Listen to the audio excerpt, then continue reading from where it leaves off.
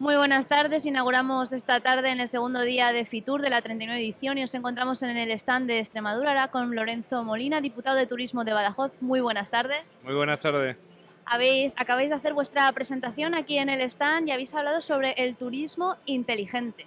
Efectivamente, es una apuesta que la Diputación y concretamente el patronato lleva ya un tiempo trabajando en él. Se enmarca dentro de lo que es el proyecto Smart Provincia de la, de la Diputación y bueno, entendemos que es el futuro, entendemos que el turismo requiere de este tipo de medidas y de este tipo de actuaciones y en esa línea vamos a seguir, tener una provincia con un turismo, un smart, eh, smart turismo o turismo inteligente.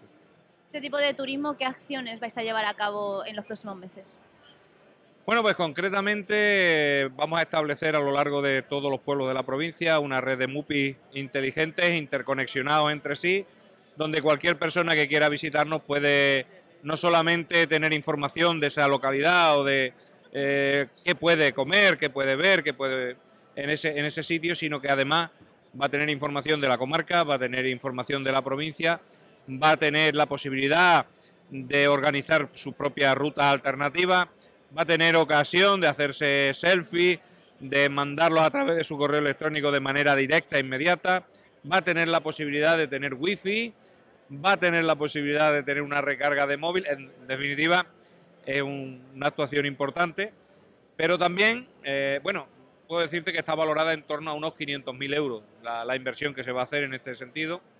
También vamos a tener, eh, vamos a colocar, sobre todo en municipios que son conjuntos históricos o que tienen algún tipo de interés importante a nivel turístico, una serie de beacons que lo que ofrecen es a cualquier persona que lleve un, teléfono inteligente, pues se le activa en el momento que llega a cualquier monumento y tiene toda la información sobre ese, sobre ese espacio en el que se mueva. Dentro de, desarrollo sostenible, pues vamos a tener también unas bicicletas que van a llevar un terminal inteligente también y nos va a aportar eh, unas bicicletas eh, eléctricas, evidentemente, eh, que van a aportarnos también a nosotros información sobre las personas que las utilizan, momentos, cuándo, cómo, de qué manera.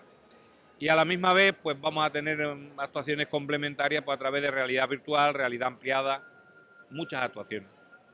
Como veo, sin duda son muchas actuaciones, pero este turismo digital y tecnológico no, no quita que le restéis importancia al turismo tradicional.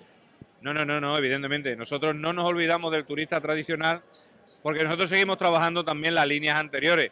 De hecho, Hoy hemos hablado en la presentación aquí en Fitur de los escapismos que ya teníamos y del nuevo que hemos presentado, que es el escapismo gastronómico, al natural y al, histórico que ya teníamos, pues también le añadimos el gastronómico. Pero tampoco nos olvidamos de colectivos concretos.